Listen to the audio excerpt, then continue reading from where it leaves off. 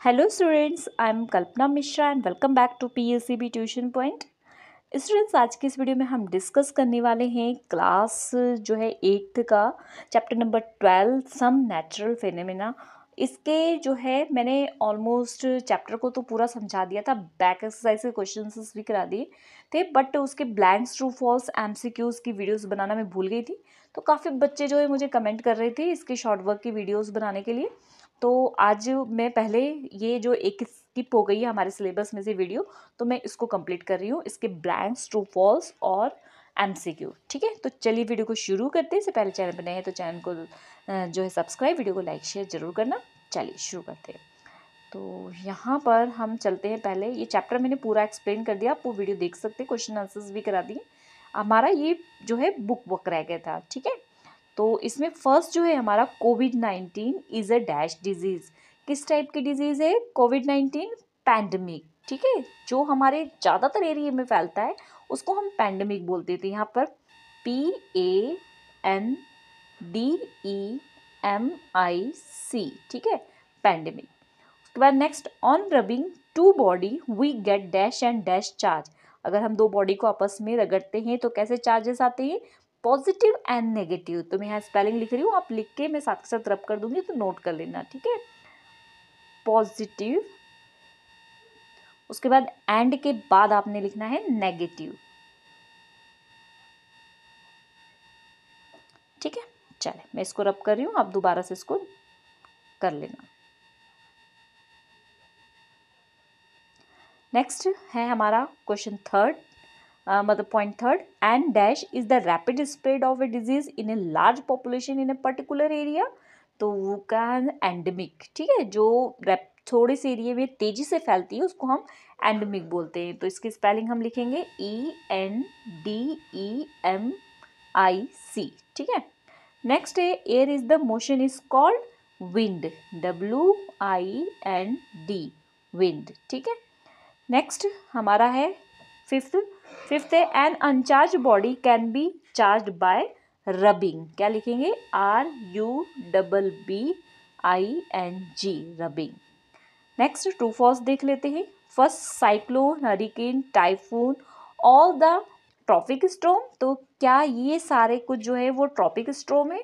तो यहाँ पे सिर्फ़ आपने क्या फिल करना है? ट्रू फॉल्स फिल करने तो ये क्या है? ये राइट right आंसर है, इसलिए हम इसको क्या लिखेंगे? True during lighting the thunder we should stand under a tall tree और एन इलेक्ट्रिक पोल लाइटिंग के टाइम हमें लंबे से पेड़ के, बड़े पेड़ के नीचे और खंभों के नीचे होना चाहिए। ये तो गलत है तो ये क्या है? False lighting conductor next lighting conductor is use to save tall building and tower from the lighting तो ट्रू है, ठीक है? ये मैंने चैप्टर में आपको बताया है।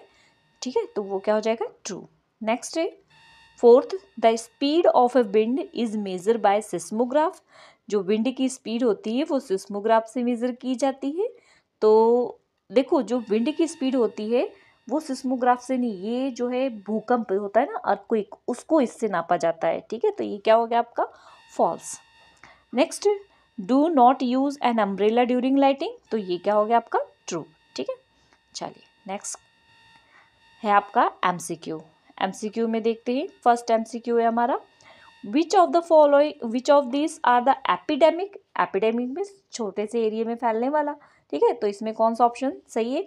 Dengue swine flu cholera all of the above तो इसमें राइट आंसर है ऑल ऑफ़ द अबव इसमें सारे ही फैलते हैं, ठीक है? Next it is not an epidemic but pandemic dengue in Delhi COVID nineteen plague of Bengal drought on the Ethiopia तो इसका राइट आंसर क्या है? इसका राइट आंसर है बी कोविड नाइन्टीन जो है। अभी हमने ब्लैंक्स में पढ़ा ना उसमें। Next the frequency of earthquake is measure अभी मैंने ये भी ब्लैंक्स में आपको बताया था कि शायद एम सी ट्रू फॉल्स में बताया। तो कौन सा होता है? फ्रीक्वेंसी अर्थ क्विक को हम किससे मेजर करते हैं? सिस्मोग्राफ से। Charge is produce by transfer of charge किसके थ्रू जो है ट्रांसफ़र होते हैं। तो उसका राइट right आंसर है इलेक्ट्रॉन्स नेक्स्ट है अपना। फिफ्थ फिफ्थ में क्या है हमारा? During lighting and thunder we should take shelter lighting और थंडर में हमें किसके नीचे जगह लेनी चाहिए?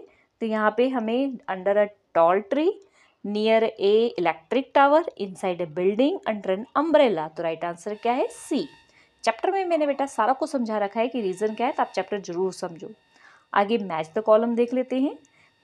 मैच द कॉलम में फ़र्स्ट है आपका in 2020 the pandemic that hit the whole world. 2020 में ऐसा पैंडमिक था जिसने पूरे जो है वर्ल्ड को हिला के रख दिया था। तो उसका आंसर क्या है? वो है हमारा कोविड, ठीक है? मतलब corona. Cyclone that hit Odisha in May 2020 cyclone है जो ओडिशा में 2020 में हिट हुआ था। तो उसका राइट आंसर है एम्फान, ठीक है? उसके बाद है, when two charge cloud approach each other. Is cause अगर दो चार्ज जो क्लाउड है, आपस में पहुँचते हैं, नज़दीक पहुँचते हैं तो उस टाइम क्या होता है? उस टाइम होती है लाइटिंग, ठीक है? यहाँ पर आपका टू, उसके बाद लाइटिंग, यहाँ पर three. Next, this is use to detect charge on the body. कोई भी बॉडी चार्ज है, उसको डिटेक्ट करती है कौन? Gold leaf electroscope. Next point, inside the earth, where earthquake originate, उसको हम बोलते हैं हाइपोसेंट्रल ठीक है? तो आई होप स्टूडेंट्स ये वीडियो आपके लिए हेल्पफुल हुई हो। ये क्वेश्चन मैंने प्रीवियस वीडियो में आपको करा रही है। आप प्लेलिस्ट जाके चेक कर लो ठीक है? मिलते हैं नेक्स्ट वीडियो में। बाय